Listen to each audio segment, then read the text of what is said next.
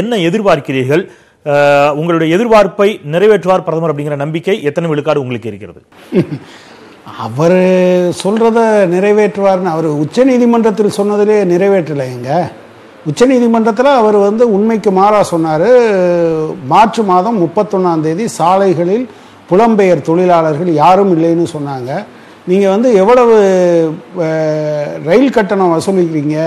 இல்லை ஃப்ரீயாக கொடுக்குறீங்களான்னு சொன்னால் அதை பற்றியெல்லாம் இங்கே சொல்ல முடியாதுன்னு சொன்னாங்க.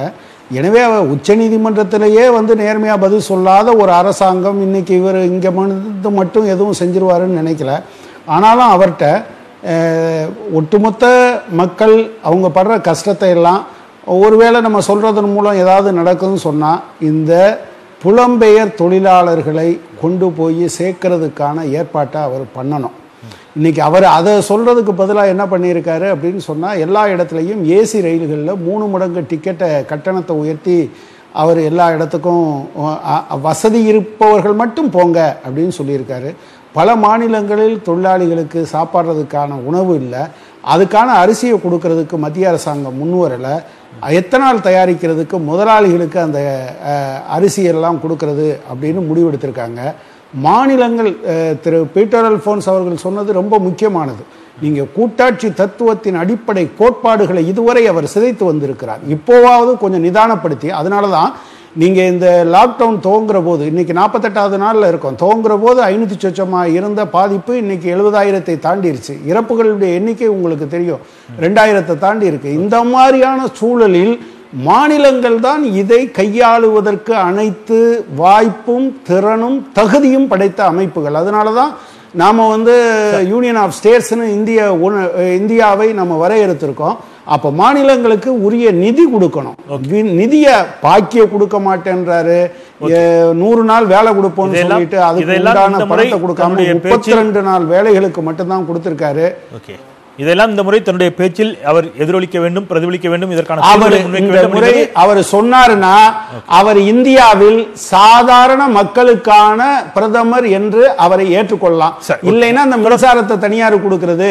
இந்த தொழிலாளர் நல சட்டங்களை எல்லாம் காலி பண்ணிட்டு பண்றது திரு கனகராஜ் ஆறு ஆண்டுகளில் பொருளாதார பின்னடைவிலிருந்து மீள்வோம் அப்படின்னு சொல்லியிருக்கிறாரு. இதை எப்படி புரிஞ்சுக்கிறீங்க? இந்த மாதிரி வாய் வச்சு எக்கச்சக்கமா பார்த்திருக்கோம்ல நம்ம. இது முதல் முறையா அவர் பேசுறது. ஒரு ஒரு பிரதமர் பேசுகிறார். பதினேழு பேர் மீது ரயில்கள் ஏறி இறங்கி இருக்கிறது. பதினேழு பேர் தானு தெரியல. உடல் உடல் செதஞ்சு போயிருக்கான். நாடு முழுவதும் உதிரி உதிரியா தினசரி தற்கொலை பண்ணிக்கிட்டான் இறந்து போயிட்டான் ஆக்சிடென்ட்ல போயிட்டான்னு வருது.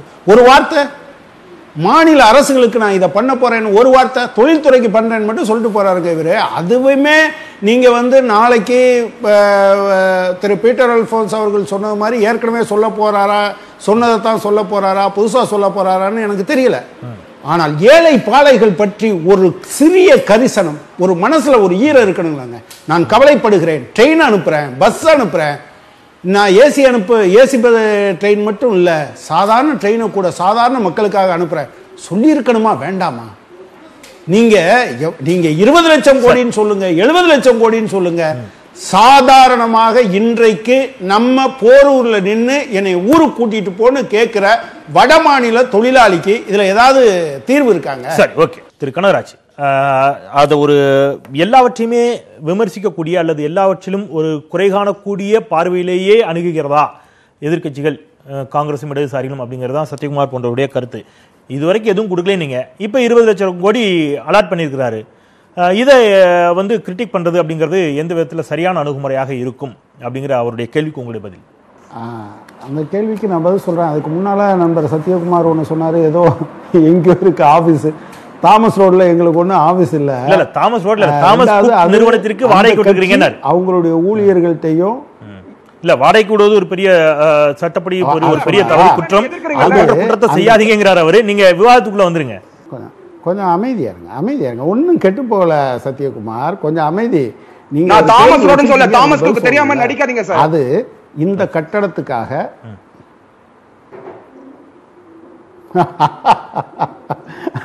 அமைதி. ஒரு டேப்லெட் வேணா போட்டுக்கோங்க. அதாவது அது மக்கள்கிட்ட இந்த கட்டடம் கட்ட போகிறோன்னு அவங்க கடன் வாங்கியோ வசூல் பண்ணியோ கட்டியிருக்காங்க. ஆனால் இது ஏன் வரி பணம்? மிஸ்டர் சத்யகுமார் இந்த என்னுடைய வரிப்பணத்தை நீங்கள் என்ன நினைக்கிறீங்கன்னா ஏதோ மோடியோ அல்லது ஆளுங்கட்சியோட சொந்த பணம்னு நினைக்கிறீங்க. நான் அதுக்குள்ளே போகல அப்புறம் அந்த பதினஞ்சு லட்சம்லாம் நாங்கள் கேட்டிருக்கோம். செந்தில் சார் நீங்கள் ஏதோ சொன்னீங்களே நான் இப்படியே நம்ப மாட்டேன்றீங்க. பதினஞ்சு லட்சத்தை நாங்கள் கேட்டிருக்கோம்ல? அந்த கருப்பு பணத்தை எல்லாம் பண மதிப்பிழப்பு பிரச்சனையில் நீங்கள் அள்ளி கொண்டாந்து கொட்டின கதையை நாங்கள் பார்த்துட்டு தான் இருந்திருக்கோம்? சிஎஸ்டி ஜிஎஸ்டி வந்துருச்சுன்னா இந்தியாவினுடைய ஜிடிபியை நாங்கள் உயர்த்திடுவோம் வரி வருவாய் அதிகமாகிரும் மாநிலங்கள்லாம் நாங்கள் கொடுத்துருவோன்னு சொல்லிட்டு ரெண்டாயிரத்தி பதினேழு பதினெட்டுக்கு கொடுக்க வேண்டிய பாக்கியை இன்னைக்கு வர பாக்கி வச்சுருக்க கதையை நாங்கள் பார்த்துட்டு தானே இருக்கோம். ஏதோ இதை பட்ஜெட்டில் எடுக்க மாட்டாரா? நாங்கள்லாம் தப்பாக புரிஞ்சுக்கிட்டோமா?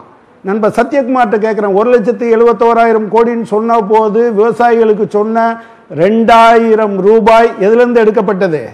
விவசாய தொழிலாளிகளுக்கு கொடுக்குறேன்னு சொன்ன அந்த பணம் போன வருஷம் எழுபத்தோராயிரம் போன பட்ஜெட்டில் இந்த வருஷம் அறுபத்தோராயிரம் கோடி தமிழ்நாட்டுக்கு வெறும் முப்பத்தி ரெண்டு நாளைக்கு தான் வேலைக்கு பணம் கொடுத்துருக்கீங்க. அதை எந்த கதையில் கொண்டு போய் சேர்ப்பீங்க? ஏதோ எம்ப்ளாயிஸுக்கு கொடுக்குறதெல்லாம் அவனோட பிஎஃப் அக்கௌண்ட்டில் இருந்து எழுபத்தஞ்சி பர்சன்ட் விட்ரா பண்ணிக்கலாமா? ஏற்கனவே அங்கே இருக்கக்கூடிய கட்டுமான தொழிலாளிகளுக்கு அவங்க நலவாரியத்தில் இருக்க பணத்தை எடுத்துக்கலாமா? இதெல்லாம் ஒரு லட்சத்து இருபத்தோராயிரம் கணக்கில் இருக்கா? பேசலாமா? ஒன் டு ஒன்னே பேசலாமா? பொது இடத்துல பேசலாமா? கதை எண்பத்தஞ்சு சதவீதம் ரயில் டிக்கெட் கொடுக்கிறேன்னு சம்பித் இருக்கு. பத்ரா பேசினாரு? எண்பத்தஞ்சு சதவீதம் நாங்க? ஒரு நயா பைசா. ஒரு நயா பைசா. ஒரு நயா பைசா கொடுக்க சொல்லுங்க. நான் கடந்த காலத்தின் அனுபவம் தான் இப்ப சொல்ற உங்க வாக்குறுதியை நம்புவதற்கான ஏற்பாடு. எனவே கடந்த காலத்துல நான் இதெல்லாம் சொல்லியிருக்கேன். நீங்க பெரிய விஷயம். உலகத்திலேயே நாங்க தான் புதுசு. அப்படின்னு சொன்ன எல்லா விஷயமும் இந்திய மக்களை ஏமாற்றமடைய செய்வதில் கொண்டு போய் நிறுத்தியது. ரெண்டு கோடி பேருக்கு வேலைன்னு ஒரு தேர்தலில் சொல்லிட்டு அடுத்த தேர்தல்ல அதை பத்தியே சொல்லாத ஒருத்தர் தான் சார் இப்ப நம்ம பேசினாரு. அவரே தான் நான் ஹரிச்சந்திரன் பேசினாருங்கிறது மாதிரி என்கிட்ட வந்து நம்ப சொல்றீங்க. அதை நான் எப்படி நம்புவேன்? ரெண்டு கோடி பேருக்கு வேலை. இந்த காலத்தில் கிட்டத்தட்ட அறுபது லட்சம் பேருடைய வேலைகள் இல்லாம போயிருக்கு. இதை மறுக்க முடியுமா? இல்ல, அது- எனவே அவர் இப்ப இப்பவும் சரி எப்போதும் சரி ஏதாவது சொல்லுவார். ஒரு நாளைக்கு ஒன்றா சொல்லுவார். வெளிநாட்டுல இருந்து நம்ம அதெல்லாம் கொண்டு வர போறோம்னு ஊர் ஊரா போனாரு. இப்ப அவர் என்ன சொல்றாருன்னா அதுக்கு முன்னால அவங்க சொல்லுவாங்க சுதேசி தான் இவங்க கொள்கைன்னு. இந்தியாவில் இருக்கக்கூடிய எல்லாத்தையும் வெளிநாட்டுக்கு தான் வித்தாங்க. இப்ப ரொம்ப அமைதியா என்ன சொல்றாருன்னா நாங்க உள்நாட்டுக்கு கொடுக்க போறோம்னு சொல்றது. நான் இப்பவும் சொல்றேன். சிறு குறு முதலாளிகளுக்கு நடுத்தர தொழில் நடத்துபவர்களுக்கு ஏராளமான உதவிகளை செய்ய வேண்டும். இந்த இருபது லட்சம் கோடியில பத்து லட்சம் கோடிக்கு மேல நீங்க கொடுக்கணும் இதுல ஒரு விஷயம் என்ன சொல்றேன்னு கேளுங்க இந்த- இந்த 20 லட்சம் கோடி- அசோச்சம், இவங்க இந்த 20 லட்சம் கோடி உள்நாட்டில். யாருக்கு பகிர்ந்தளிக்கப்படும் அவங்களே நீங்க 15 அச்சப்படுறீங்க? ஒரு அவங்களே இல்ல இல்ல ஒரே ஒரு நிமிஷம் அவரே சொல்லிட்டாரு நான் இப்ப சொல்றேன் இந்தியாவில் இருக்கக்கூடிய அசோச்சம் சிஐஐ பிஹெச்டி. இவங்கெல்லாம் Punjab Haryana Delhi chamber of commerce இவங்கெல்லாம் போய் என்ன கேட்டாங்கன்னா எங்களுக்கு பதினஞ்சு லட்சம் கோடி கொடுங்கன்னு கேட்டாங்க. அதுக்கு தான் இவர் இவர் இருபது லட்சம் கோடி சொல்லி இருக்காரு. என்னுடைய இந்த நாட்டின் குடிமகன் நடந்து போய் கொண்டிருக்கிறான் செத்து கொண்டிருக்கிறான். அதற்கு ஒரு பைசா கூட ஒதுக்குறதுக்கு இவர் குறைஞ்சபட்சம் தெரிவிப்பதற்கு கூட இவர் தயாரில்லை. ஒன்றும் இல்லை நான் நிச்சயமா உறுதியா நம்புறேன். மோடி அவர்களுடைய கடந்த காலம் பாஜகவினுடைய பொருளாதார கொள்கை இதுவெல்லாம் எனக்கு தெரிந்த வகையில் ஏழை எளிய மக்களுக்கு எந்த நிவாரணத்தையும் அவர்கள் அளிக்கப் போவதில்லை. குறைந்தபட்சம் ஒரு ஆறுதல் வார்த்தை கூட சொல்ல வேண்டாம். அதெல்லாம் ஒன்றும் அது கிடக்குறாங்க அப்படின்னு போகிற நிலைப்பாடு தான் இருக்குது மாநிலங்களுடைய உரிமைகளை விட்டு கொடுக்குற அளவுக்கு எனக்கு கூட என்னன்னா அதிமுகவுக்கு சில நிர்பந்தம் இருக்கலாம். ஒரு அதிமுக அரசின் சார்பாக யாராவது ஒருத்தர் இந்த தமிழக அரசின் கோரிக்கைகளை கொஞ்சம் வழுங்கவா வச்சாங்கன்னா நல்லது. ஏன்னா. அது அவங்க கட்சி மட்டும் சம்பந்தப்பட்டது இல்ல. தமிழகத்தில் இருக்கக்கூடிய எட்டு பேருடைய வாழ்க்கை சம்பந்தப்பட்டது. நேற்று ஆயிரத்தி முந்நூறு கோடி ரூபா எனக்கு நெல் கொள்முதலுக்கு வேணும்னு கேட்டிருக்காரு. அது விவசாயிகள் பிரச்சனை இல்லையா? அது குரலார் பிரச்சனை மட்டும் இல்லையா? விவசாயிகள் பிரச்சனை. அதை நாங்கள் எதிர்பார்க்கிறது எங்களுடைய உரிமை. அதை அவரும் பிரதிபலிக்க வேண்டும் என்பது என்னுடைய வேண்டுகோள்.